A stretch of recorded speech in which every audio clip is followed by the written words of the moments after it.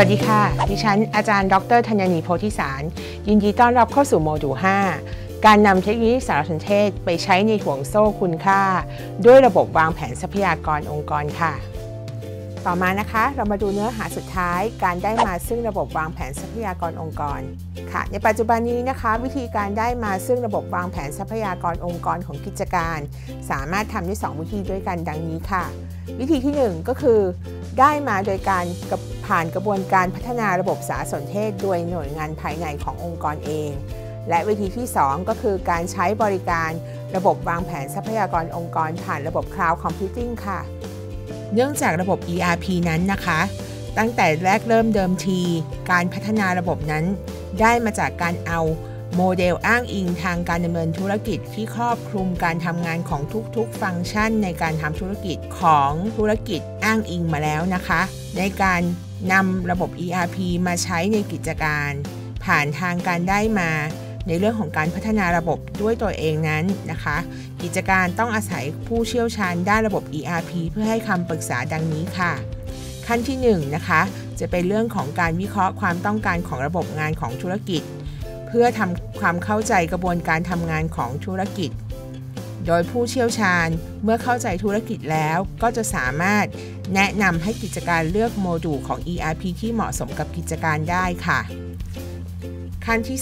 2 การปรับแต่งระบบ ERP ให้เหมาะกับการทำงานของกิจการนั้นๆ ขั้นที่ 3 จะเป็นการอบรมพนักงานให้มีความเข้าใจและเข้าใจกระบวนการการทำงานของ ERP ค่ะ ขั้นที่ 4 จะเป็นขั้นตอนของการโอนย้ายระบบงาน พื่อย้ายเอาข้อมูล และเอกสารต่างๆ ที่อยู่ในระบบงานเก่า ขึ้นสู่ระบบ ERP เพื่อใช้งานต่อไปนะคะ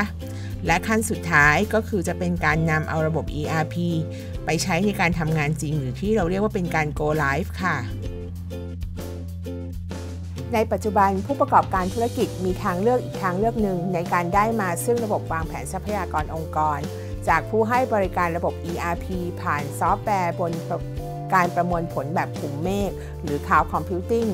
หรือเราเรียกอีกอย่างนึงว่าเป็นซอฟต์แวร์ as a service นะคะ ที่มีการมีบริการให้เลือกอย่างหลากหลาย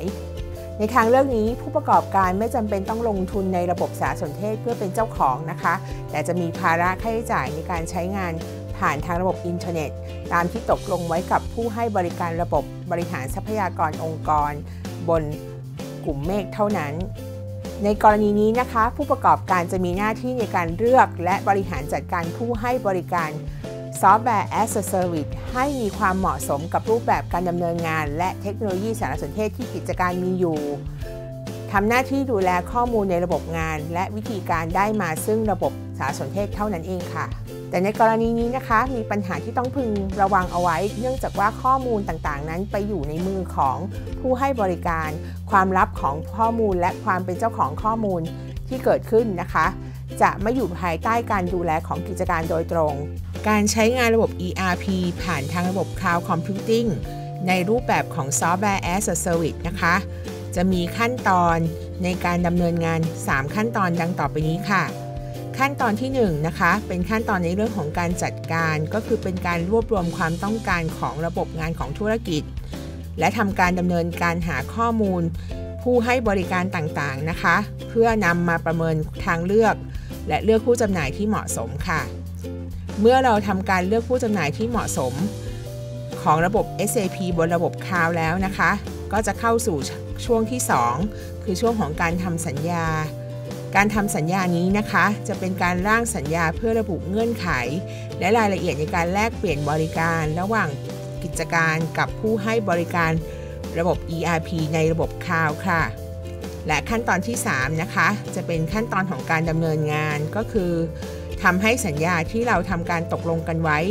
ระหว่างกิจการกับผู้ให้บริการเกิดขึ้นจริงนะคะ จะเป็นการส่งมอบ ถ่ายกรรมสิทธิ์ในการใช้บริการ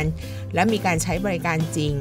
รวมไปถึงเรื่องของการเชื่อมความสัมพันธ์กับผู้จำหน่าย และทำการแก้ไขปัญหาที่เกิดขึ้นในการใช้งานค่ะ เมื่ออยู่ในช่วงการดำเนินงานไปสักระยะหนึ่งนะคะ ก็จะเข้าสู่ช่วงที่ 4 เป็นช่วงของการเปลี่ยนแปลงสัญญาการให้บริการค่ะซึ่งการเปลี่ยนแปลงสัญญาการให้บริการนั้นนะคะ อาอาจจะเกิดขึ้นบ่อยครั้ง หรืออาจจะไม่เกิดขึ้นเลยก็ได้ในกิจการบางกิจการค่ะ เพราะว่าช่วงนี้เกิดขึ้นเมื่อเกิดปัญหาในเรื่องของการใช้บริการ หรือมีการเปลี่ยนแปลงเงื่อนไขต่างๆ เท่านั้นนะคะ การปรับเปลี่ยนสัญญาตรงนี้อาจจะเป็นการปรับเปลี่ยนในเรื่องของรูปแบบการให้บริการ หรือการเปลี่ยนแปลงในเรื่องของระยะเวลาการให้บริการก็ได้ เช่น การขยายสัญญา อายุของการให้บริการออกไปนะคะ ซึ่งในการเปลี่ยนแปลงนี้อย่างที่บอกไปว่ามันขึ้นอยู่กับกิจการค่ะ และเมื่อผ่านช่วงของการเปลี่ยนแปลงสัญญาไปแล้วนะคะ หากปัญหานั้นยังต่อเนื่อง และไม่มีการแก้ไข ก็อาจจะเข้าสู่ช่วงที่ 5 คือช่วงของการยุติการให้บริการหรือยุติบทบาทของผู้ให้บริการค่ะ ช่วงนี้จะเป็นช่วงสุดท้ายของสัญญา เมื่อสัญญาสิ้นสุดลงนะคะ กิจการ มีทางเลือกที่จะต่อสัญญากับผู้ให้บริการเก่า หรือเลือกผู้ให้บริการใหม่ เข้ามาให้บริการกับกิจการต่อไปค่ะ ซึ่งช่วงนี้จะเป็นช่วงที่ผู้ให้บริการคนเก่าทำการยุติบทบาท เลิกให้บริการกับกิจการ และส่งมอบบริการดังกล่าวนั้น ให้กับคู่สัญญารายใหม่ นั่นเองค่ะ ค่าใช้จ่ายในการนำเอาระบบ ERP มาใช้ในกิจการนะคะ มาดูตัวอย่างของค่าใช้จ่ายที่เกิดขึ้น ข้อที่ 1 ค่ะ เป็นค่าใช้จ่ายที่เกี่ยวข้องกับค่าลิขสิทธิ์ของซอฟต์แวร์ และค่าใช้จ่ายในการปรับแต่งระบบ ERP ให้เหมาะกับการทำงานของธุรกิจนะคะ รวมไปถึงเรื่องของค่าใช้จ่ายบำรุงรายปี และก็ค่าใช้จ่ายในการจัดการโครงการค่ะ ค่าใช้จ่ายสำคัญตัวที่2นะคะเป็นค่าใช้จ่ายในการจัดการเรื่องของระบบเครือข่ายต่างๆ ที่นำมาใช้กับระบบ ERP ค่ะ ไม่ว่าจะเป็นค่าใช้จ่ายเกี่ยวกับเรื่องของ personal network ค่าใช้จ่ายในเรื่องของการเช่า hosting ต่างๆ ของกิจการนะคะค่าใช้จ่ายส่วนที่ 3 นะคะ จะเป็นค่าใช้จ่ายที่เกิดขึ้นจากการปรับโครงสร้าง และการบริหารจัดการของธุรกิจที่เปลี่ยนไป หลังจากที่เอาระบบ ERP มาใช้ค่ะ กิจการอาจจะต้องทำการแบ่งหน่วยงานใหม่ จ้างงานในตำแหน่งใหม่ ๆ มีการฝึกอบรมพนักงาน หรือมีการซักซ้อมในการเปลี่ยนแปลงการทำงานของระบบใหม่ค่ะค่าใช้จ่ายส่วนถัดไปนะคะ เป็นค่าใช้จ่ายที่เกี่ยวข้องกับผู้เชี่ยวชาญ ในเรื่องของระบบ ERP ที่กิจการจำเป็นจะต้องจ่าย เพื่อให้ได้ระบบนั้นมาค่ะ ไม่ว่าจะเป็นค่าที่ปรึกษาที่ทำหน้าที่ในการแนะนำกิจการในการทำ ระบบ ERP ขึ้นมาใช้นะคะ แล้วก็ค่าใช้จ่ายในการประกันคุณภาพ รวมไปถึงเงินเดือนและค่าจ้างที่จ้างกับพนักงานที่มีความเชี่ยวชาญเฉพาะเกี่ยวกับระบบ ERP ค่ะ ค่าใช้จ่ายส่วนถัดไปนะคะ เป็นค่าใช้จ่ายที่เกี่ยวข้องกับตัวฮาร์ดแวร์ของเทคโนโลยีสารสนเทศต่างๆ ไม่ว่าจะเป็นค่าของอุปกรณ์คอมพิวเตอร์ เครื่องเซิร์ฟเวอร์ เครื่อง client หรือเครื่องทำเครื่องคอมพิวเตอร์ที่ใช้ในการทำงาน ในฝั่งของ user นะคะ รวมไปถึงเรื่องของอุปกรณ์สำรองข้อมูลหรือฮาร์ดดิสก์ต่างๆ ที่ต้องเอามาใช้ในระบบ ERP ค่ะค่าใช้จ่ายส่วนถัดไปนะคะ จะเป็นค่าใช้จ่ายที่เกี่ยวข้องกับซอฟต์แวร์ต่างๆ ที่มาใช้เสริมกับระบบ ERP ค่ะ ไม่ว่าจะเป็นระบบจัดการฐานข้อมูลหรือ DBMS นะคะ ซอฟต์แวร์จัดการระบบ Operating System ต่างๆ ทั้งตัว Client และ Server ค่าใช้จ่ายในการสำรองข้อมูล และค่าใช้จ่ายในการซื้อซอฟต์แวร์ประยุกต์ต่างๆ ที่เข้ามาเกี่ยวข้อง ยกตัวอย่างเช่น การซื้อ